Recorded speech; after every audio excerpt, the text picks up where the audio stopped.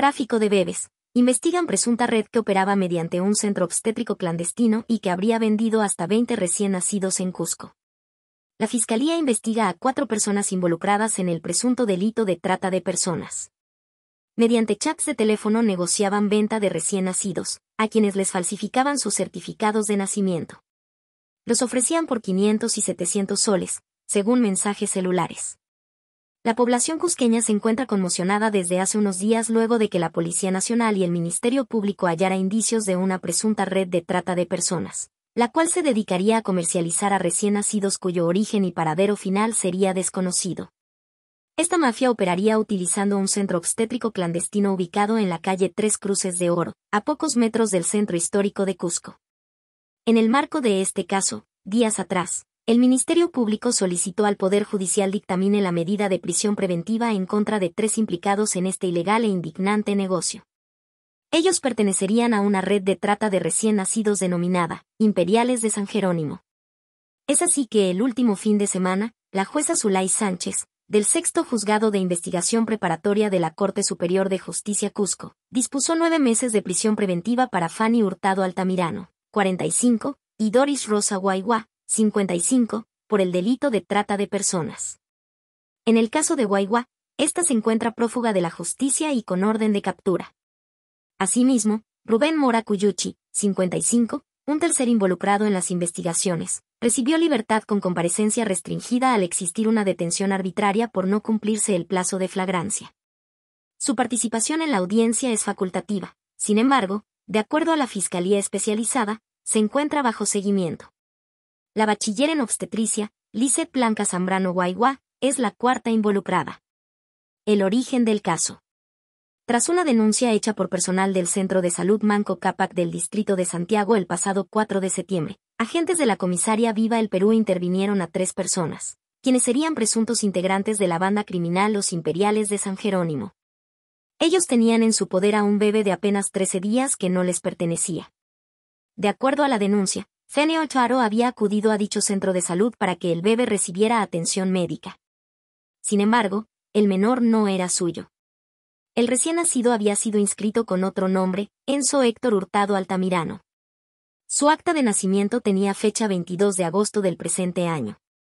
El menor le habría sido entregado a Hurtado días antes por una persona de nombre Rosa. La firma y las características del certificado de nacido vivo llamó poderosamente la atención del personal de salud de Manco Cápac, por lo que alertaron a las autoridades, dijo el fiscal adjunto de trata de personas, Paulo Rivera. Ante este hecho, la policía realizó diversas diligencias con participación de la Fiscalía de Trata de Personas, y se logró ubicar y citar a la persona de nombre Rosa a la altura del centro comercial Supersol, en la urbanización de Tío del distrito de Huanchac. Allí la PNP intervino a Doris Rosa Guaiguá y Rubén Mora por el presunto delito contra la dignidad humana, trata de personas. De acuerdo al informe policial, esta venta de niños se materializó, aunque señalan que el bebé iba a ser devuelto porque lloraba mucho. Vale precisar que el delito de trata de personas es un delito permanente en el tiempo, señaló el comercio la fiscal provincial especializada en delitos de trata de personas en Cusco y quien está a cargo del caso, Andronica Sanz. Mientras tanto, durante la audiencia de prisión preventiva, se develaron algunos chats correspondientes a este año que muestran conversaciones de los implicados, en los que se comprobaría ofrecimientos por diferentes montos de dinero a cambio de los recién nacidos. Según se sabe hasta ahora, al menos 20 niños habrían sido vendidos. Vale decir que este y otros descubrimientos aún continúan en investigación por parte de la Fiscalía. Presumiblemente estamos ante una red de trata de personas con más involucrados. Se han hallado chats donde estas personas señalaban que contaban con bebés. Es un promedio de 15 a 20 niños aproximadamente de los que se desconoce su paradero, refirió el fiscal adjunto Paulo Rivera. Respecto al centro obstétrico, la fiscal Andrónica Sanz confirmó que se trata de un local clandestino, sin ninguna licencia de funcionamiento.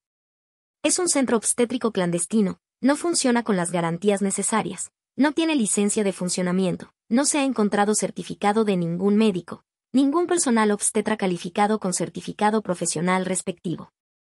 Por el contrario, se determinó que la administración está regentada por personas que no ostentan esta profesión, detalló. Presunto modus operandi.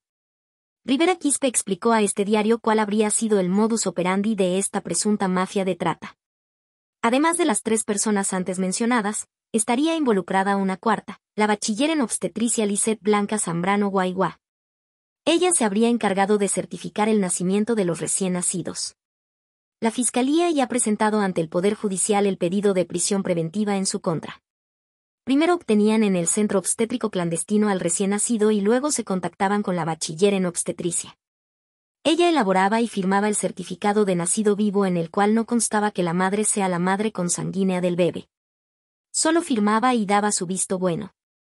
Ese era el modus operandi para la emisión del certificado y con eso se inscribía al bebé luego en el RENIC, agregó el fiscal adjunto Paulo Rivera. Durante las diligencias en el centro obstétrico la Fiscalía halló gran cantidad de vouchers de pago de entidades bancarias, números de teléfonos, dinero en efectivo, accesorios para ecografías, ambientes acondicionados para procedimientos abortivos. Incluso, según las diligencias fiscales, se presume que se comercializaban fetos para ofrendas a la tierra. En los chats se hace alusión que si el bebé presenta alguna falencia los imputados tenían la posibilidad de dormirlos, es decir, matarlos y disponer de ellos. En ese centro obstétrico se halló indumentarias en relación a rituales. Presumiblemente se usaban fetos de bebés recién nacidos para estos, comentó Rivera. Mientras tanto, la Policía Nacional continúa con las investigaciones para determinar la procedencia del bebé hallado en poder de Fanny Ocharo y la ubicación de los verdaderos progenitores.